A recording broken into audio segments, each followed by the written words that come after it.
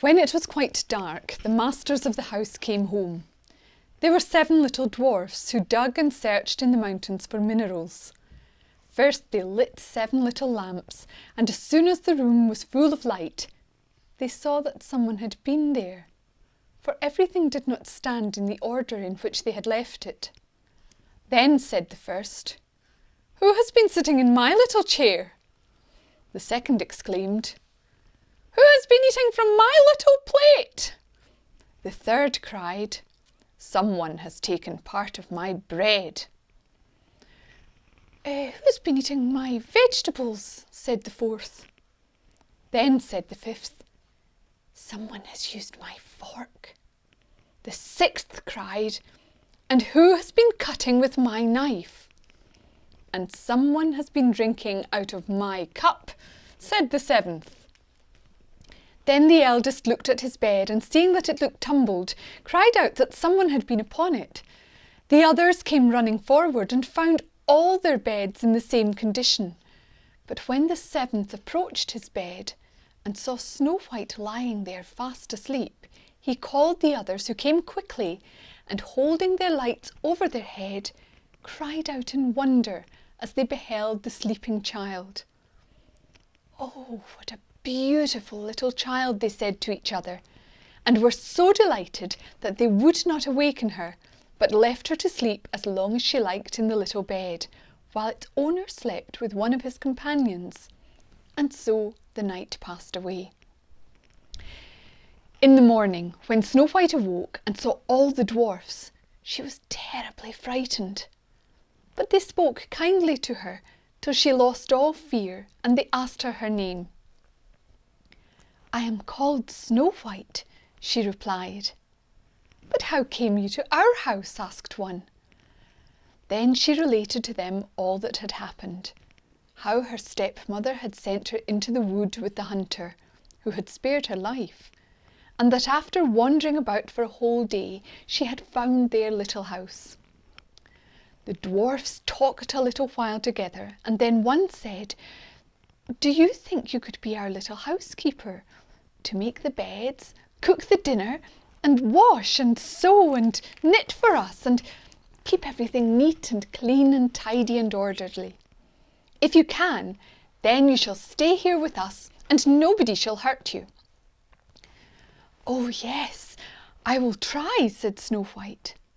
So they let her stay, and she was a clever little thing.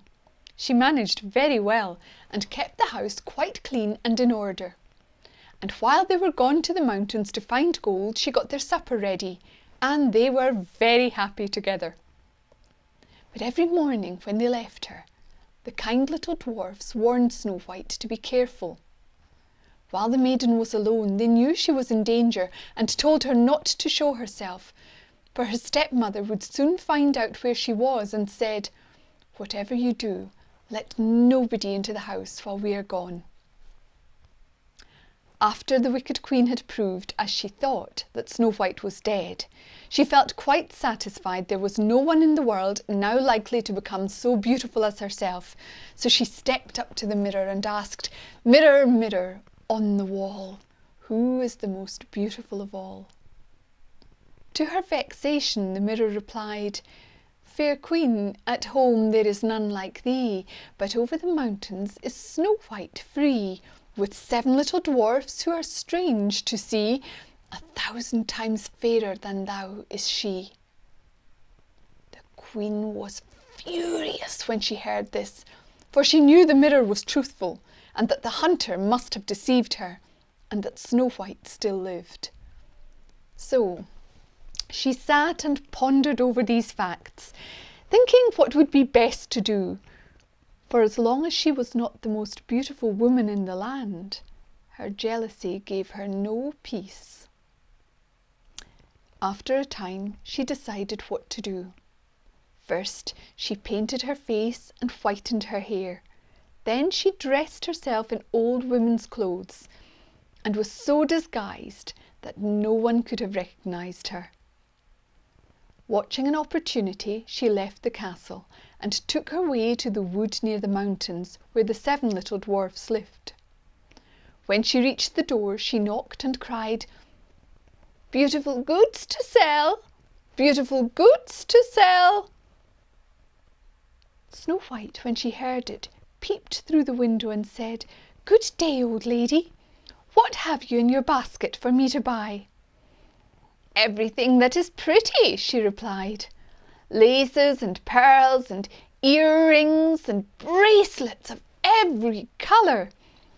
And she held up her basket, which was lined with glittering silk. I can let this respectable old woman in, thought Snow White. She will not harm me. So she unbolted the door and told her to come in. Oh, how delighted Snow White was with the pretty things! She bought several trinkets and a beautiful silk lace for her stays. But she did not see the evil eye of the old woman who was watching her. Presently she said, Child, come here, and I will show you how to lace your stays properly. Snow White had no suspicion, so she placed herself before the old woman that she might lace her stays but no sooner was the lace in the holes than she began to lace so fast and pull so tight that Snow White could not breathe, and presently fell down at her feet as if dead. Now you are beautiful indeed, said the old woman, and fancying she heard footsteps, she rushed away as quickly as she could.